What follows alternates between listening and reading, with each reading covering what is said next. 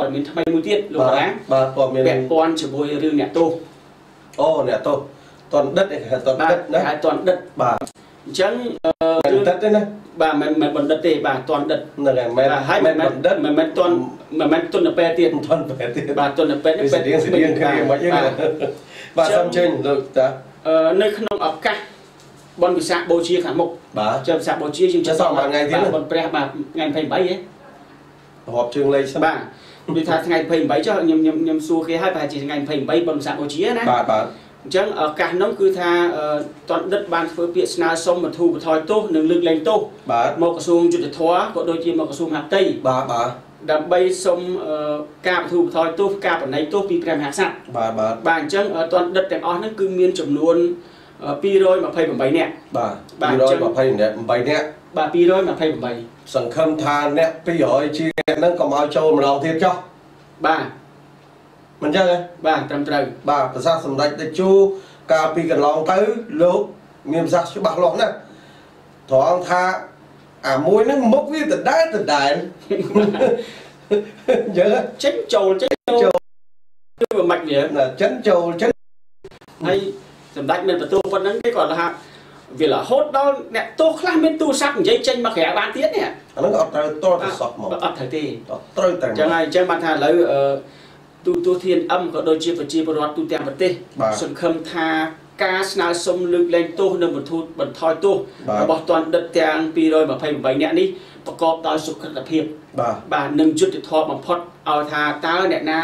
គួរអាចលើកលែងទោសឲ្យគាត់អ្នកណាបាទមិនគួរលើកលែងទោសកុំកុំលើកលែងបាទបាទអ្នកខ្លះខូខើពេកយើងមិនមិនកុំលើកលែងគាត់បាទបាទហ្នឹងហើយចេះបើអ្នកណាអ្នកខ្លះគេជាប់ដែរប៉ុន្តែគេកែខ្លួនបាទគេខំធ្វើអំពើល្អនៅក្នុងពន្ធនាគារបាទបាបាទទគេកសាងស្នាដៃនៅក្នុងនោះគេខ្លាចជាមនុស្សល្អអានឹងលើកលែងឲ្យគាត់លើទៅកលែងបានបាទហើយឬក៏អាចបទូបថយទៅបាទបាទហើយកុំឲ្យអាខ្លះលេខ ប្លន់ទៅបានប្រហែលជាប់គុកបានអត់បានមួយឆ្នាំផងប្លន់វាត្រូវគាត់ជាប់គុក6ឆ្នាំទៅ7ឆ្នាំអីចឹងទៅបាទហើយជាប់គុកបានមួយឆ្នាំមកសុំលើកលែងទោសដែរវាអត់ត្រូវទេអាហ្នឹងមិនលុយទេបាទអានេះប្រហែលជាអាចអញ្ចឹងអញ្ចឹងហើយបាត់គេសនំពោថាសូមឲ្យក្រសួងមហាផ្ទៃ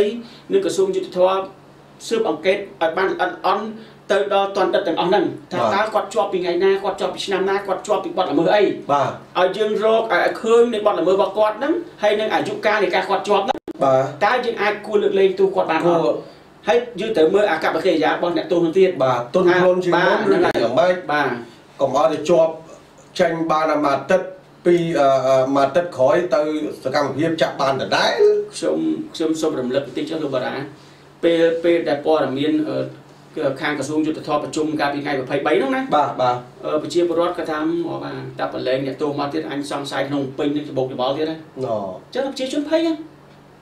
ពួកកន្លងមកយើងដឹងថាការលើកលែងអ្នកទោសមកម្ដងម្ដងហ្នឹងគឺត្រូវតែមានមកមានពួកចោរឆក់ចោរប្លន់កើតឡើងជានិច្ចមកបាទអញ្ចឹងសូមឲ្យបងប្អូនប្រិយមិត្តតាមដានអឺបន្ទាប់ពីអឺប៉ណ្ណមិនដឹងថាសម្ដេចលោកអឺចាឲ្យលេងទាំង200នាក់ហ្នឹងឬក៏យ៉ាងម៉េចទេបាទអាហ្នឹងអឺអាហ្នឹងគឺជាសំណើទៅទេបាទอ๋อសំណើទេក្រសួងយុទ្ធភ័ពក្រសួងមហាផ្ទៃក៏ដូចជាប្រមុខរាជរដ្ឋាភិបាលដែរធ្វើសំណើហ្នឹងដល់សត្វបាទសូមការអនុញ្ញាតអូអញ្ចឹងទេបាទបាទបាទបាទ ដើម្បីអឺឲ្យពួកគាត់ចេញមកអ្នកខ្លះបានចេញអ្នកខ្លះអត់បានចេញទេព្រោះអ្នកបើអ្នកបទូថយទោសបានន័យថាជាប់30ឆ្នាំឬក៏20ឆ្នាំអាចបទូថយទោសបានមកមកមកត្រូវមានពីរដងអញ្ចឹងមកក្រឹកណាបាទបាទប៉ុន្តែអ្នកខ្លះបើមានសំណាងទៅអាចអឺលើកលែងទោសតែម្ដងបាទបាទបាទនៅប្រទេសនៅសល់តិចអីចឹងណាហើយគាត់កែខ្លួនកែអីអញ្ចឹងអឺសង្ឃឹមថាអ្នកទោសទាំងអស់បាទ228នាក់ពេលដែលបានត្រឡប់មកផ្ទះខ្លះ នឹងនឹងលើកលែងទោសខ្លះ បាទ មេត្តាកែប្រែខ្លួន បាទ คล้ายទៅជាប្រជាពលរដ្ឋល្អ បាទ បាទទៅជាប្រជាជនល្អ បាទ ទៅជាឪពុកម្ដាយល្អ បាទ អាហ្នឹងអឺខ្ញុំសង្ឃឹមថាអញ្ចឹងចោះបាទហើយឈប់ឈប់ធ្វើអំពើមិនគប្បីចំពោះច្បាប់ បាទ តែយើងដើរតែផ្លូវចាស់ដដែលគឺយើងគុកដដែល ទៅជាប់គុកដដែល បាទអញ្ចឹងចេញមកវិញសង្ឃឹមថាអឺនឹងคล้ายទៅជាឪពុក ម្ដាយដ៏ល្អបាទឡើងវិញរស់នៅក្នុងសង្គមដោយភាពថ្លៃថ្នូរដូចគេដូចឯងបាទបាទព្រោះថាយើងរស់នៅក្នុងពន្ធនាគារយើងបាត់អស់ហើយសេរីភាពបាទបាត់សេចក្តីថ្លៃថ្នូរអស់ហើយបាទអញ្ចឹងអឺយើងត្រូវចេះកែខ្លួនពេលដែលយើងចេញមកវិញបាទនេះអឺខ្ញុំសង្ឃឹមថាអស់លោកអឺជាតតដិតនិងអ្នកទោសទាំងអស់អឺមេត្តាយោគយល់នៅសម្ដីរបស់ខ្ញុំបាទព្រោះខ្ញុំមានបំណងល្អជួយអស់លោកតែថាធ្វើយ៉ាងណាឲ្យយើងខ្លាចជាឪពុកល្អបាទព្រោះកូនចៅនៅខាងក្រៅពេលឪពុកម្ដាយជាប់គុកណាបាទ គេឌៀលបាទបាទនោះឪឯងជាប់គុកបាទឲ្យជាប់ម៉ែឯងជាប់គុកឲ្យឲ្យផ្លត់គេបាទអញ្ចឹងគេចឹងតើវាតើក្មេងកំពុងតែលូតលាស់បន្តិចបន្តួចគាត់មានអារម្មណ៍ប៉ុណ្ណាអារម្មណ៍មានអារម្មណ៍ប៉ុណ្ណាបាទឪអញដល់ចឹងគ្នាពិបាកចិត្តខ្លាចខូចចិត្តកូនក្មេងហ្នឹងគាត់ទៅអីទៀតយ៉ាងម៉េចទៅបាទនេះវិបត្តិដល់សង្គមបងប្អូនទៅជៀបថាខ្ញុំខ្ញុំអឺខ្ញុំឮអឺ សម្ដីគេមួយម៉ាត់គេថាសូមឲ្យចេញពីគុកវិញសូមឲ្យខ្លាយទៅជាប្រជាពលរដ្ឋល្អបាទត្រឹមត្រូវប្រជាពលរដ្ឋល្អមានតែទូទៅបាទអញ្ចឹង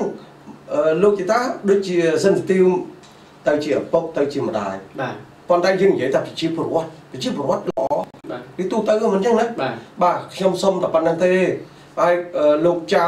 លោកអីដែលបានអឺធ្វើសកម្មភាពឆក់ប្លន់នឹងខ្ញុំសុំសនំពរ ឪពុកគេមីងគេបងគេបាទបើដួលទៅចំបងប្អូនលោកឯងតែយ៉ាងណាដែរបាទយើងឈឺចាប់ឈឺចាប់ប៉ុណ្ណាហ្នឹងហើយហើយបើគេវាយទៅតែលោកចៅឈឺអត់ឈឺណាស់ឈឺហើយអ្នកខ្លះជ្រុលវាយដល់ស្លាប់ងាប់ក៏មានដែរស្លាប់ទៅក៏មានមិនចឹងចោលឆក់តាមដងផ្លូវអឺលោកបារាពេលដែលខ្ញុំឃើញគេវាយខ្ញុំបាទអាណិតណាបាទបាទប៉ុន្តែបើបើយើងកលែងពីសកម្មភាពរបស់គាត់វិញ ពេលគាត់ឆក់គេគឺគាត់សាហាវបាទទាញកាបូបគេមកអត់ដឹងថាគេធ្លាក់ពីលើម៉ូតូទៅងាប់ឬយ៉ាងម៉េចអត់ដឹងបាទអត់ដឹងដឹងតែចង់បានតែរបស់គេមកបាទប៉ុន្តែដល់ពេលគេចាប់បានវិញខ្ញុំឃើញគេវាយខ្ញុំអាណិតបាទអាអញ្នេះចឹងបានន័យថាសំណូមពរទៅដល់ប្រជាពលរដ្ឋទាំងអស់បើសិនជាចាប់បានអឺអឺអ្នកធ្វើសកម្មភាពបែបអញ្ចឹងអញ្ចឹងគួរកុំវាយបាទបាទយើងខាត់គាត់ទុកយកឲ្យបលិសឲ្យអីទៅបាទជួនកាលទៀតនោះបលីនឹងបានចាប់ចោលហើយបលីចាប់ដើមគោះនិយាយឲ្យឲ្យជាទូទៅមក សួរតាំងពីអីដោយការពីកន្លងទៅនេះក៏ចាប់អ្នកគ្រឿងញៀនមួយនោះកោសរូបតាំងពីអ្នកម៉ូតូដប់ឡើងអាគ្នាម៉ូតូដប់នឹងធ្វើរបាយការណ៍មកថាសំគំនិតអឺហើយគ្នាម៉ូតូដប់រហូតដល់គ្នាបញ្ជាក់ថាបើមិនជឿទេសូមឲ្យសួរចម្លើយអ្នកដែលលោកចាប់បានមកហ្នឹងហើយឡើងម៉ូតូពីកន្លែងណាហើយគ្នាប្រកបមុខរបរអាជីវកម្មនៅតាមដងផ្លូវទេ ហើយលោកនៅខណ្ឌអឺជ្រុលចង្វាលោកមើលមែនតែនបាទកុំចេះតាប៉ាតណាប៉ាតណីបាទប្រជាពលរដ្ឋលោកស្លូតត្រង់ត្រូវតាមដានឲ្យគាត់ឲ្យច្បាស់លាស់កុំចេះតែចោតកុំចេះតែមានឱកាសចោតគឺចោតបាទឬថាយកអឺសុំសុំលុយដល់1000នោះគាត់ខំគាត់ខំប្រឹងសម្លុតខំខំប្រឹងចោតគឺដើម្បីគាត់ចង់បានប្រយោជន៍ទេចង់បានប្រយោជន៍អញ្ចឹងយើងដូចចង់បានហួសម៉េចអញ្ចឹងយើងអាចធ្វើឲ្យមនុស្សម្នាក់ ដែលអត់មានកំហុសសោះហើយទៅជាប់គុកណាបាទគឺអ្នកនោះឈឺចាប់ណាបាទទាំងគេទាំងយើងណាបើសិនជាជាប់គុកដែលអត់មានកំហុសណាចេញទៅវិញណាខ្ញុំជឿថាប្រកាសជាមានការសង្ស័យជុំបើគេធ្វើចំពោះបុគ្គលកូនលោកលោកខឹងតែឬទេហ្នឹងហើយឲ្យដឹងអញ្ចឹងផងត្រូវហើយយើងនាំគ្នាគោរពច្បាប់ទាំងអស់គ្នាទៅគ្រប់ទៅរាជរដ្ឋាភិបាលកំពុងកំណែតម្រង់រាល់ថ្ងៃកំពុងតែវិលមុខឈឺក្បាលនឹងអស់លោកខាងក្រៅអាវ៉ាត់នឹងបាទ គ្រាន់តែបញ្ជាឲ្យរឿងកាត់ឡានអីអឺកាយឆ្នៃហ៎កាលឡើងកាយឆ្នៃបាទម៉ែថ្លែនស្អីក៏ចាប់ដែរស្អីស្អីក៏ទើសដែរស្អីក៏ទៅបើសម្ដេចអត់ស្អីអត់ទើសទេបាទរហូតដល់សម្ដេចថាអីកាត់អឺមិនក៏ថាអាឡានយកមកត្រូវតម្រង់ក៏វែងតិចវាយ៉ាងម៉េចអានឹងកាត់អត់មានកែឆ្នៃផងហ្នឹងណាបាទតាមពិតឡាន origin មកទេបាទ origin មកអានេះមិនទៅកាត់របស់គេទៅបកាត់របស់គេ ហើយមួយទៀតរឿងច្បាប់ចរាចរណ៍អញ្ចឹងចាប់មួកសវត្ថិភាពស្អីស្អីស្អីស្អីណាម៉ែអាថ្លែនចាប់2ម៉ោងចាប់ម្ដងហើយទៅចាប់សឹកតាក់ពួនវូមវ៉ាអឺមិនអញ្ចឹងបងប្អូនបាទបងប្អូនធ្លាប់ជួយនៅតាមដងផ្លូវមិនវូមែមនវ៉ាអឺវូមវ៉ាអឺមិនមែនដាក់បរាសចាប់ទេណែពូនស្ទាក់ចាប់បាទពូស្រីទឹកនោះនៅកន្លែងផ្លូវមនីវងศ์កន្លែងស្តុបកាណាឌីយ៉ាគាត់ដាក់តុកមួយឲ្យអឺ មន្ត្រីប៉ូលីសនារីម្នាក់ណាចាំទទួល invoice ឯងប៉ុន្តែអាអាមន្ត្រីជិះម៉ូតូតាមតាមប្រមាញ់មកមិនមែនតាមប្រមាញ់ទេតាមចាប់តាមចាប់បើឯងអត់ចូលគេហៅអត់ចូលដេញដេញតាមហ្មងបាទអត់ខ្វល់ទេច្រែកចុះច្រែកឡើងខ្ញុំឃើញខ្ញុំឃើញមែនហេខ្ញុំឃើញហ្មងខ្ញុំឃើញនៅភ្នែកបាទនៅក្នុងខណ្ឌ7អ្នករាហ្នឹងបាទហ្នឹងហើយនៅនៅខាងចំមុះជ្រូកចូលទៅចេះទៅបាទនៅ7អ្នករាខ្ញុំឃើញអញ្ចឹងបងប្អូនខ្ញុំឃើញដេញម៉ូតូយល់យល់ពីអារម្មណ៍ អ្នកដែលដែលដែលគ្នាជួនកាលគ្នាវូមវ៉ាអឺភ័យបាទសំបីខ្ញុំប្រហោងពោះដែរ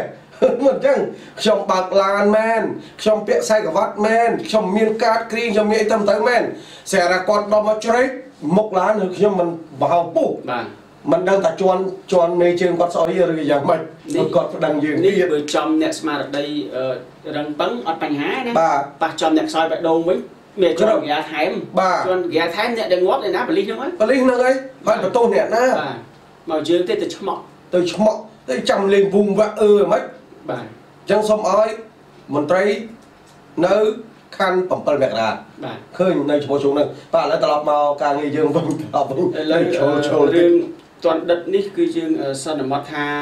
ពួកគាត់ពេលដែលបានទទួលការបន្ធូរបន្ថយទោសបាទនឹងលើកលែងទោសហើយបាទសង្ឃឹមថានឹងខ្លាយជាប្រជាពលរដ្ឋល្អបាទបាទកុំឲ្យមានការនិន្ទាដោយប្រជាពលរដ្ឋថាមឲ្យតែលែងម្ដងម្ដងគឺបាត់ល្មើសកើតឡើងក្នុងសង្គមបាទណាសង្ឃឹមថាស្ងាត់ចោះស្ងាត់ចុះបាទហ្នឹងហើយហើយអញ្ចឹងអឺខ្ញុំសូមបិទបញ្ចប់នៅព័ត៌មាននេះ